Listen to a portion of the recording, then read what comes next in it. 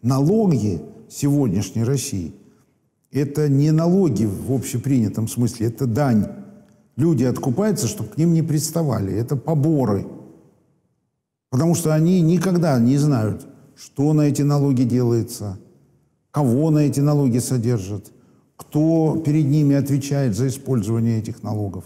Потому что это невозможно в условиях, когда отсутствуют средства массовой информации, которые независимы, отсутствуют независимые суды, отсутствуют независимые прокуратуры, отсутствуют независимые профсоюзы, отсутствуют независимые общественные организации. Ничего этого не существует.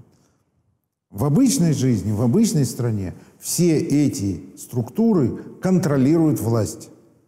Все. Пресса контролирует власть, профсоюзы контролируют власть, суды, прокуратуры, общественные организации, женские, мужские, собачьи, природоохранные, да все общество только тем и занимается, что через эти структуры контролирует власть. У нас ничего этого нету. У нас все это ликвидировано.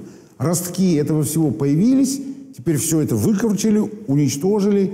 Одних называли иностранными агентами, других купили на гранты, потому что раз эти иностранные агенты, значит, даем деньги этим, а эти, поскольку получают деньги от государства, значит, они зависимы и так далее до бесконечности. Вот эту, вот эту всю общественную структуру, которая должна была бы контролировать чиновничество и власть, ее ликвидировали. Теперь говорят, а у нас коррупция, а как может быть иначе? Как может быть иначе?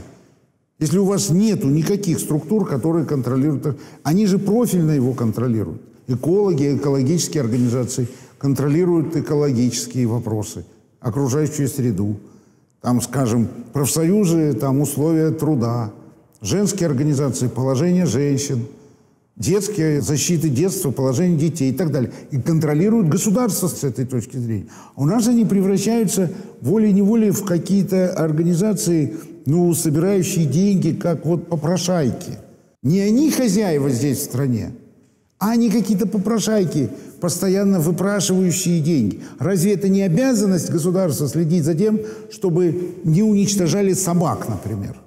Защита собак от издевательств, от мучений, что кошек, что собак. Разве это не обязанность государства? Нет. А люди, которые делают приюты, подвергаются гонениям и вымаливают эти денежки, как будто бы они нищие какие-то. Точно так же обращаются с парковками – организовывают платные парковки таким образом, что это вовсе не в интересах людей. Я не знаю, как в Москве, но знаю точно, что в Петербурге.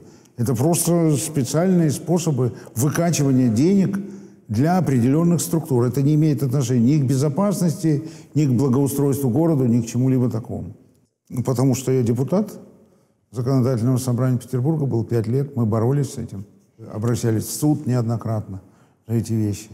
У нас абсолютно там непонятно, как работает все парковочное хозяйство. Дело в том, что у вас нет права и нет механизмов местного самоуправления, с помощью которого можно определять, где делать эти парковки, где не делать эти парковки, как должен быть обустроен ваш двор, как должно быть все это организовано. Это уже вопросы местного самоуправления. Самоуправление граждан. У нас граждан сделали людьми, как маленьких детей, которые ничего не могут сами решать. Их лишили финансирования, их лишили права выбирать себе мэра. Им даже придумали так, вы можете мэра выбирать, но мы потом вам назначим сити-менеджера. Мэр-то будет э, номинальная фигура, а будет сити-менеджер, который решает все практические вопросы. Если вы не можете поменять губернатора, мэра, президента, Государственную Думу, если вы не можете свободно выбрать депутатов, членов Совета Федерации, то это значит, что никакого влияния на государственную власть вы не оказываете. Потому что все чиновники подчинены только одной фигуре – президенту, верховному, решающему всю их судьбу, назначающему и снимающему и так дальше. Это называется вертикаль власти – Народ в вертикали власти не присутствует с его взглядами или с его оценками или с его пожеланиями. Значит, он только с помощью бунта может это корректировать. Вот если толпы пенсионеров вышли и сказали, мы не хотим монетизации льгот, то от этого отказались. Но для этого нужно, чтобы толпы вышли на улицы. Но сейчас создана Росгвардия и всякие другие механизмы, чтобы толпы на улицы не выходили. Они не будут выходить.